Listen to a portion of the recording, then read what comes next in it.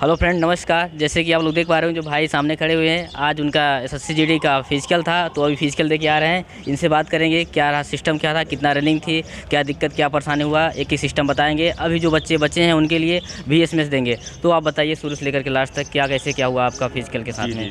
जी actually जो S S का physical है वो साढ़े चार बजे एंट्री हुई थी हमारी और उसके बाद में हाइट और चेस्ट पहले मेज़रमेंट हुआ था और हमारी जो रनिंग हुई थी साढ़े सात बजे से स्टार्ट हुई थी।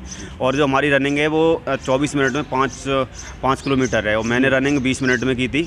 चार मिनट एक्स्ट्रा की थी चार मिनट पहले ही कर दी थी रनिंग और जो मोस्टली ये बच्चे हो रहे हैं वो रनिंग में फेल हो रहे हैं। हम्म। तो इस रनिंग के लिए ये है कि यहाँ फौजी लोग हमको ये बता रहे थे कि जो रुक नहीं रहा है जो कंटिन्यू रनिंग कर रहा है उसकी रनिंग कंप्लीट कंप्लीट हो जा रही है। और जो फ़िज़िकल है वो पंद्रह मई तक चलेंगे।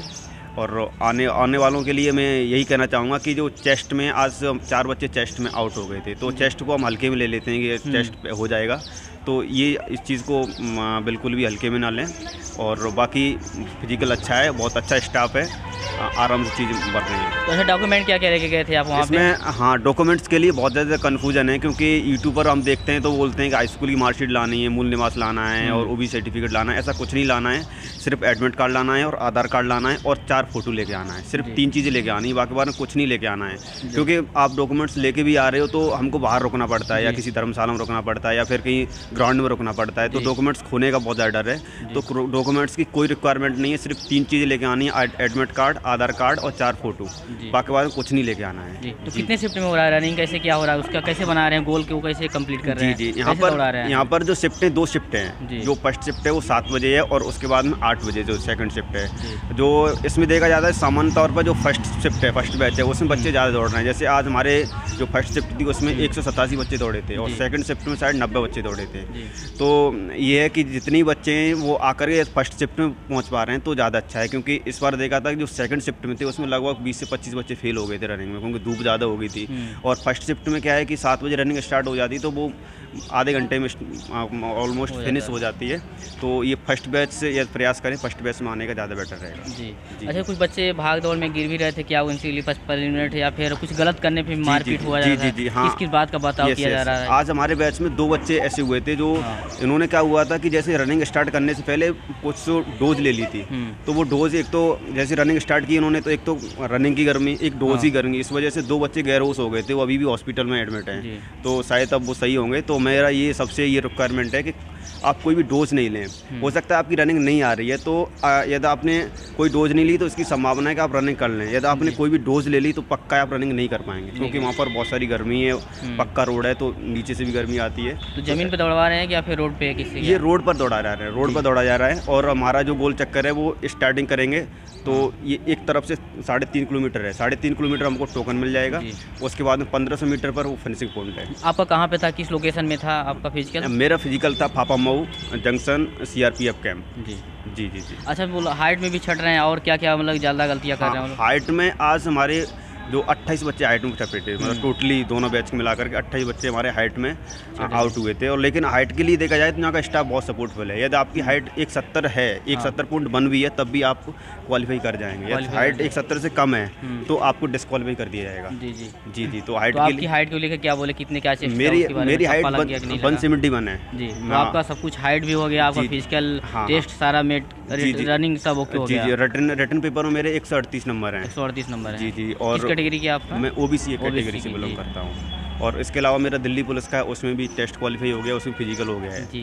जी जी जी। और इस लास्ट बार में फ़िज़िकल तक वो फाइनल तक पहुँचा था। फाइनल जो लिस्ट थी वहाँ से आउट हुआ था वहाँ से आउट हो गए थे हाँ। चलिए आप कैंटीन लगे हुए अच्छा आपको सेंटर कहाँ गया था? अभी जी वाला जो अभी जी वाला मेरा सेंटर लखनऊ गया था। इकतीस जनवरी का पेपर था। लखनऊ सेंटर हाँ। गया था और ये लास्ट शिफ्ट में फिफ्थ शिफ्ट में मेरा पेपर था। जी। तो वहाँ से आपने तैयारी कैसे क्या की थी उसके बारे में कोचिंग कैसे क्या क्लास एस एस की तैयारी मैंने सामान्यतः सेल्फ स्टडी की है। हम्म। क्योंकि इसके लिए मैंने मैथ राकेश सर से पढ़ा था हम्म। और उसके बाद में जो रीजनिंग है वो विक्रमजीत सर हैं उनसे पढ़ी थी और जो रोज़गार with Ankit Ankit body sir हैं हम्म। उनका मैंने मॉक टेस्ट जो लगाए हुए थे और उसके बाद टेक्स्ट बुक से मॉक टेस्ट लगाता रहा था उससे ही मेरा चीज़ पिछली बार क्लियर हुआ और ये भी क्लियर हुआ तो कौन सा आपका रहा इंटरव्यू ये वाला अटेम्प्ट है एस एस वाला सेकंड अटैम्प्ट रहा क्या और नहीं सेकंड अटेम्प्ट था मेरा फ़र्स्ट अटेम्प्ट में ये था कि मैं दो नंबर से रह गया था फाइनल हम्म। में फाइनल में आउट हो गया था और ये सेकंड टर्म इसमें ये मेरे अच्छे मार्क्स हैं तो शायद सी आई जी मिल अभी जाए काफ़ी चर्चा हो रही है जैसे कि स्लाइड को भी हटा दिया गया है काफ़ी ज़िले को जैसे चंदौली मिर्जापुर हो गए हाँ, हाँ, हाँ, ये सब हाँ। ज़िले को हटा दिया गया है अब तो नहीं है। जी उसके बारे में क्या कहना यस चाहेंगे यस ये अच्छा हुआ है क्योंकि पिछली बार ऐसा होता था कि जो नक्सल एरिया थे हाँ। उनको अलग से कैटेगरी उनको इंक्लूड किया हाँ जाता पाँच नंबर अब ये पाँच परसेंट बढ़ा के दिया जाता था नंबर जी जी अब ये भी एक जनरल डिस्ट्रिक्ट हो गए तो ये एक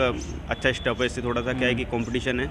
वो और एस सी को जो बेनिफिट है वो जो गाँव के जो लोग हैं एस सी उनको नहीं मिल पाता जो हम्म। नहीं सिटी में रहने वाले एस सी एस टी हैं वही इसका बेनिफिट वही उठा रहे हैं। जैसे यूपीएससी हम देखेंगे हर बार रिज़ल्ट आते हैं उसमें हम्म। जो मीणा परिवार है एस टी मीणा जो मीणा समुदाय आता है उसके अलावा हर साल दस से बारह लोग आई एस बनने ही बन रहे हैं तो जो गाँव में लोग रह रहे हैं एस सी एस टी के उनको इसका कोई अभी देखिए जैसे कि आर है। आरआरबी जैसे ग्रुप डी वाला आर आर सी का ग्रुप डी है जिसका 45 है बाकी जनरल कैटेगरी है वो हो जा रहा है ई डब्ल्यू एस की वजह से और जिसका ओ बी सी कैटेगरी है उनका उनसठ साठ नंबर भी नहीं हो पा रहा है। जी, जी। बस यही रीजन है जो कुर्सी बैठे जो सब और सीनियर जो बड़े लोग हैं अधिकारी लोग वो अपने सिस्टम से अपने लिए बनाए हैं ना कि किसी और के लिए बनाए हैं। घूम फिर करके अपने ही जॉब ले ले रहे हैं अपने जी जी जी। और ये बड़े स्तर पर तो बहुत बड़ा होता है। अभी छोटे स्तर पर तो इतना ज़्यादा नहीं होता है जैसे कॉन्स्टेबल वगैरह ये तो छोटे एग्ज़ाम होंगे जैसे आई का हो गया पीसीएस का हो गया। हाँ, वहाँ पर तो ये बड़े स्तर पर होता है। वहाँ पर आप देखोगे जैसे या सात सौ सात सौ वैकेंसी है तो उसमें चार सौ पाँच सौ वैकेंसी ऐसी होंगी। हाँ। वही बच्चे आई बनेंगे जिनके माता पिता कोई आई एस है। लेकिन उनको- हाईलाइट नहीं किया जाता। हाईलाइट केवल उनको किया जाता है जैसे कोई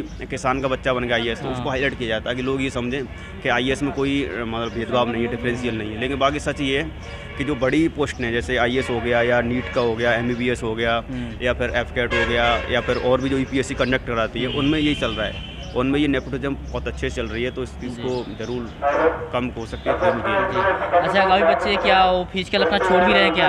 हाँ फ़िज़िकल हाँ आज हमारे आज लगभग 120 बच्चे थे ना हाँ। फ़िज़िकल देने नहीं आए थे। तो उसका रीज़न ये है कि हो सकता है कि उसके एक दो नंबर एक्स्ट्रा हों इसलिए हो रहे या फिर किसी और पोस्ट में सेलेक्ट हो गया जी जी जी ऐसा भी रीज़न हो सकता है। हो सकते हैं। जी जी जी जी और ये तो कोई दो नंबर तीन नंबर एक्स्ट्रा है तो फिर वो सोचता है कि फ़िज़िकल देने अब तो इसका फाइनल है आपका सब कुछ ओके हो गया है। हाँ, आपका अब ये तो- मेडिकल रह गया अच्छा मेडिकल लग गया है। तो तो हो गया मेडिकल तो जहाँ तक है तो कुछ ना है कि बराबर होता है। जी जी जी जी। पिछली बार में पिछली बार में ग्राउंड फिट था तो इस बार भी एक मेडिकल में शायद फिट ही हो जाऊँगा। जी जी। Thank you all the best okay भी बहुत बहुत थैंक यू जी थैंक यू बाकी आप मेरे चैनल को क्या कहना चाहते हैं इस चैनल को? हरमित एजुकेशनल चैनल के बारे में यस यस मैं आपके चैनल के लिए कहना चाहता हूँ कि जो भी मेरे लोग इसको देख रहे हैं इस चीज़ को जो भी हो सकता है आप इसको शेयर करें सब्सक्राइब करें और इसमें आप कंडक्ट कंडक्ट हैं जो बहुत अच्छा डालते हैं। मैं इसको खुद देखता हूँ। तो ये बहुत सपोर्टफुल है जो। कॉम्पिटिशन की तैयारी कर रहे हैं या जो सामान्य लोग हैं जिनको पता नहीं दुनिया के बारे में हम्म। उनके लिए बहुत बेनिफिट है तो it's very good ji thank you sir all the best